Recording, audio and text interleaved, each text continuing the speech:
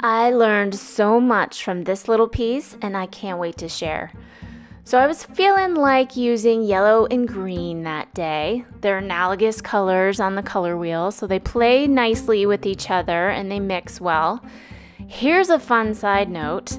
The paint that I used had a born on date of 1996. So this paint was 28 years old.